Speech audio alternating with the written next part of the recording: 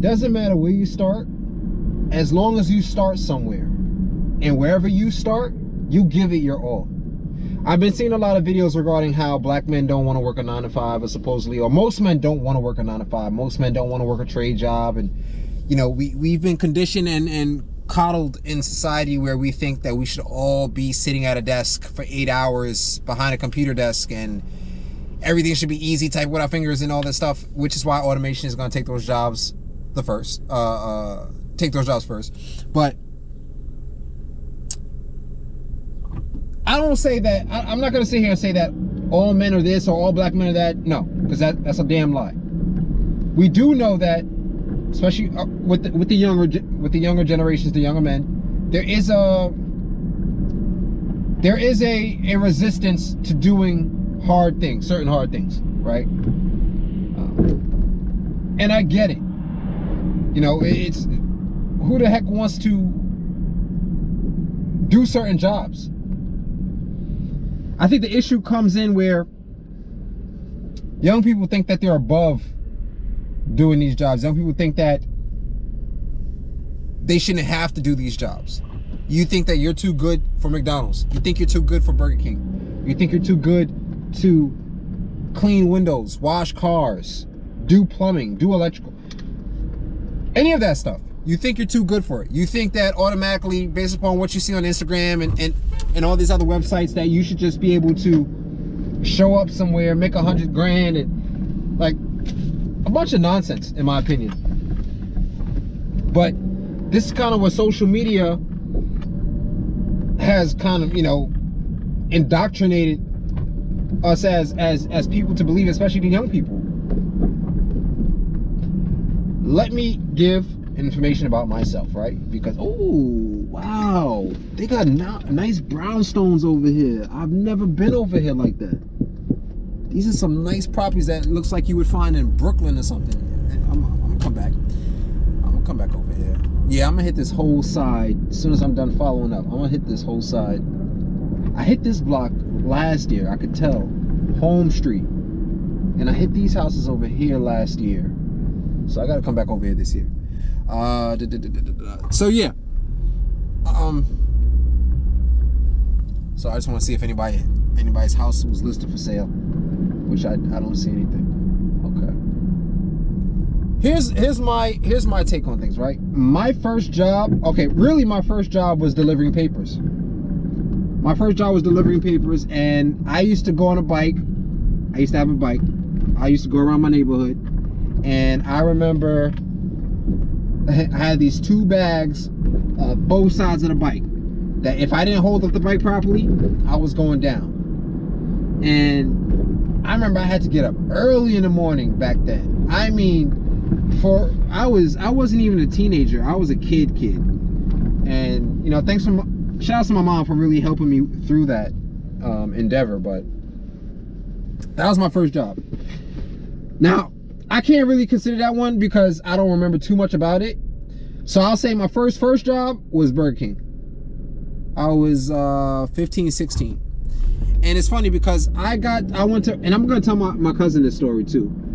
I got the job at well no.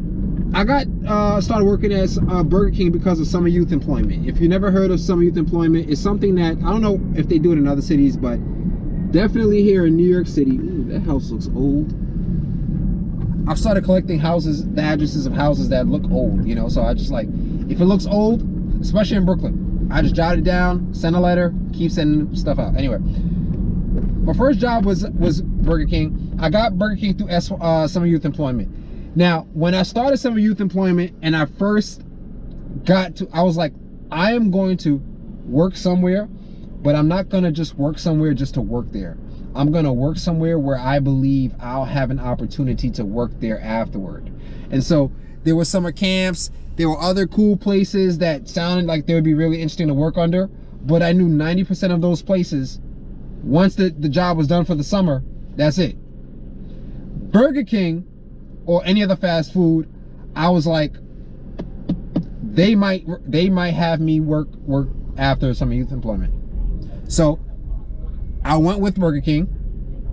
I think McDonald's and Subway was on the list too, but I went with Burger King.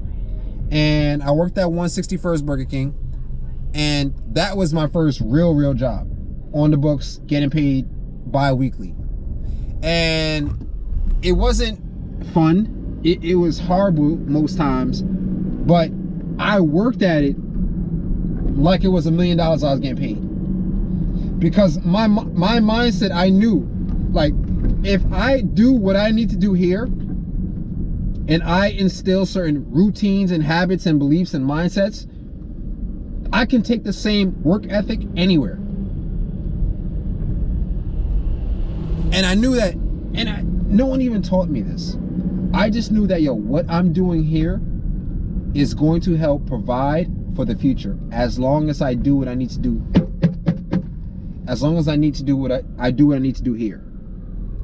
And use this as a stepping stone. And that's what most young people are missing.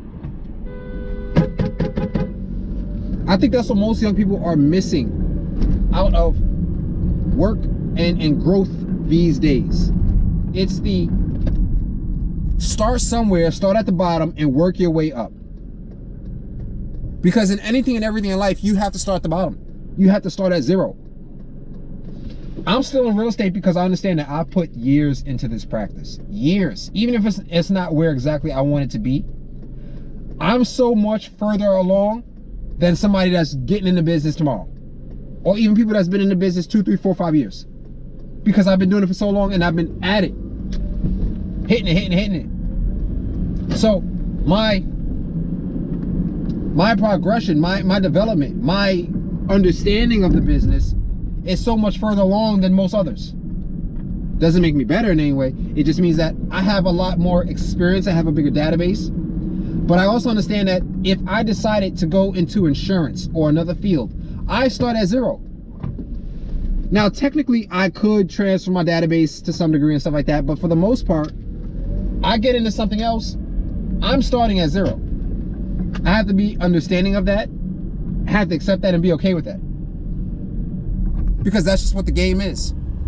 And so if you're starting off, or you've never had a job, you're starting off in a new career, a new field, you're starting off at zero. You are starting off at the bottom. You are starting off cleaning the fucking toilet. Excuse my language. That's what might be necessary for where you're at right now. Because that's what you've earned. Nothing. You haven't earned nothing yet. You haven't been in it yet. So why should you be re rewarded with more for not displaying that you can handle more?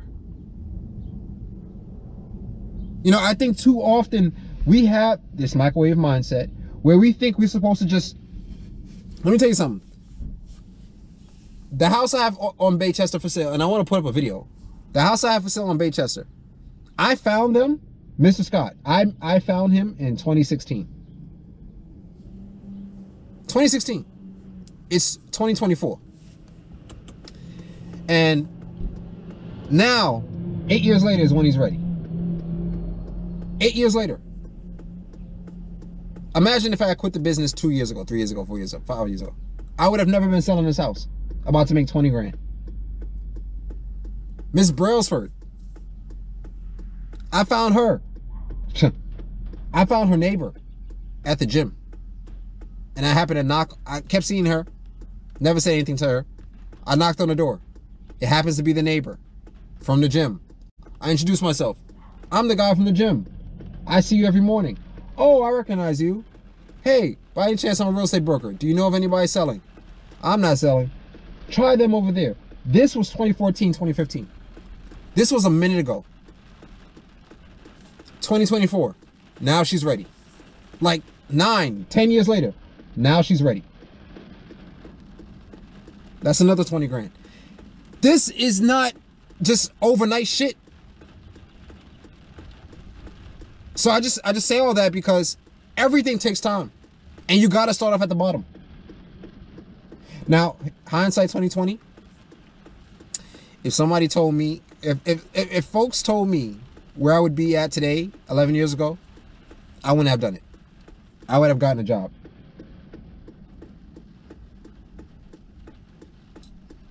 I would have gotten a job or I would have gone so much harder up front and been a lot more focused regarding what it takes.